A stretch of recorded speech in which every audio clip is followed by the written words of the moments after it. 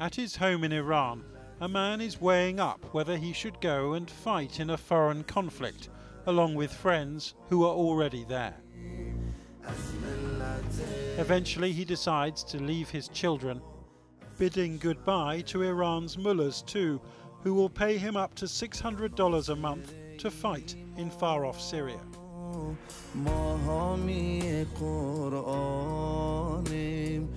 It's a recruitment advert aired on Iranian state TV last year, but there's no mention of money here. Instead, an appeal to destroy Sunni jihadists, including ISIS, and defend the tomb of Zainab in Damascus, one of Shia Islam's holiest shrines.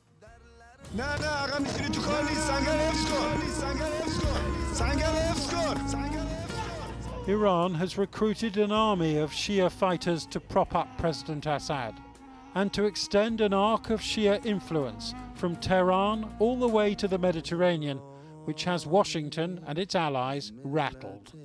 Iran provides arms, financing, and training and funnels foreign fighters into Syria.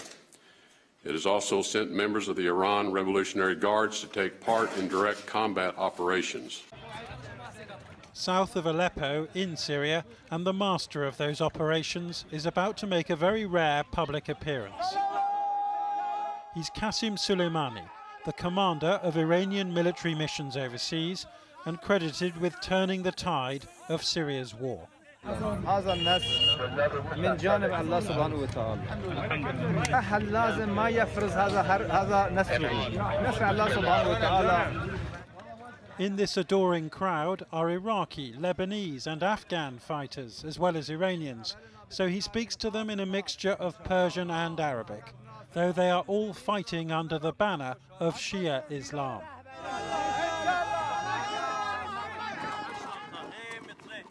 At first, Soleimani had sent the Assad regime these military advisors from Iran's Revolutionary Guard.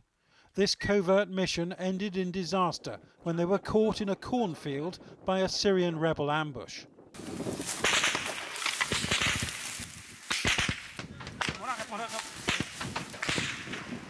It was too late. All these men were killed.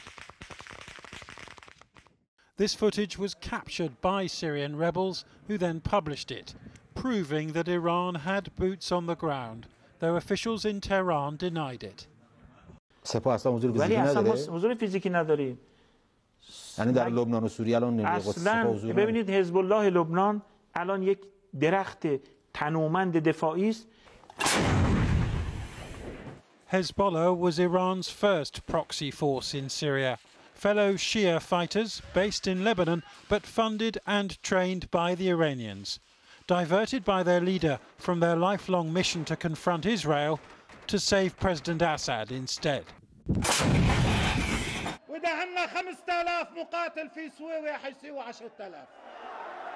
وإذا احتاجت المعركة مع هؤلاء الإرهابيين التكفيريين أن أذهب أنا وكل حزب الله إلى سوريا سنذهب إلى سوريا.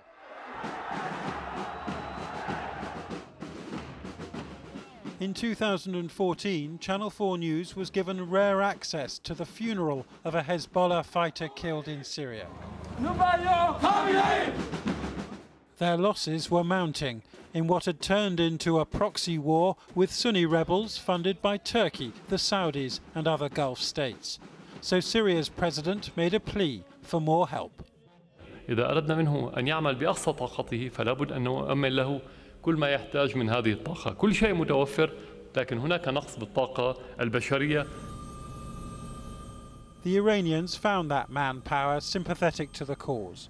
Iraqi, Afghan and even Pakistani fighters, some of them Hezbollah lookalikes. It was cheaper than using Iranian men, there was no public backlash, and it was plausibly deniable too.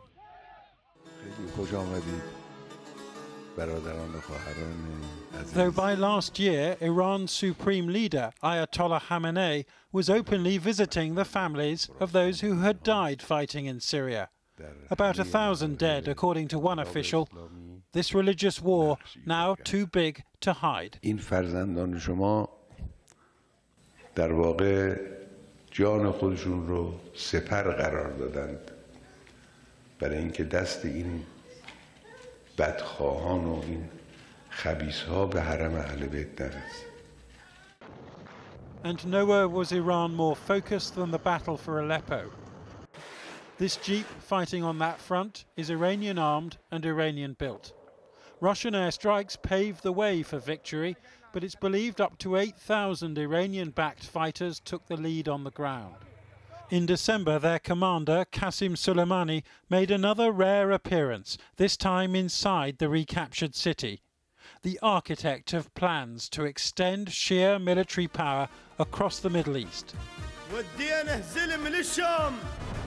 In a mission which, at its most daring, could secure a land corridor from Iran through Iraq to Syria and the Mediterranean Sea.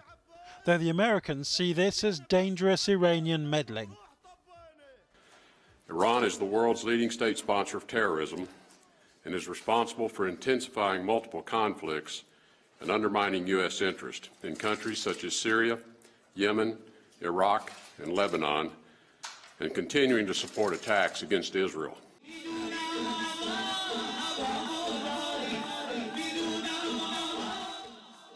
Yet for the Iranians, burying their dead from a distant war, that war is about challenging the ambitions of their Sunni rivals, Saudi Arabia and Turkey, and their allies, the Americans.